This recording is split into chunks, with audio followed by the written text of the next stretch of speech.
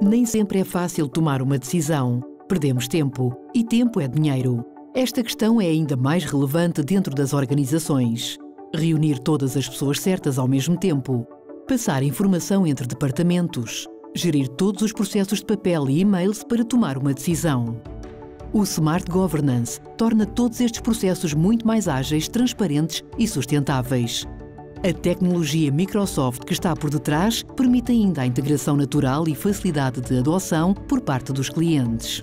O Smart Governance é um produto que procura ajudar grandes organizações a implementarem e a modernizarem o seu ecossistema de tomada de decisão e as suas estruturas de governance. Estamos a falar das hierarquias, as regras de delegação de competências, os diversos comitês, a Comissão Executiva, o Conselho de Administração.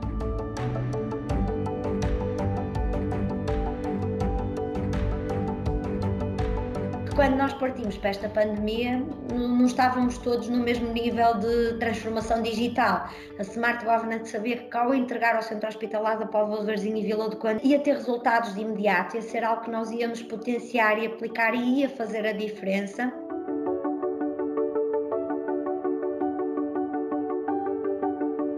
Aquilo que nos motivou de forma determinada a avançar com, com a contratação do Smart Governance foi a questão da gestão do papel. Era necessário implementar uma mudança que fosse, ao mesmo tempo, eficaz, mas também que eh, nos permitisse substituir todo o processo e, portanto, compliant com, com aquilo que são as exigências em termos de processo. Se formos atrás de coisas como o custo de oportunidade, ou seja, tudo aquilo que podíamos estar a conquistar e que não estamos porque estamos embrulhados em processo e em papel e em e-mail. Um, então aí, é, como é que eu dizer, o limite é estratosférico, não é?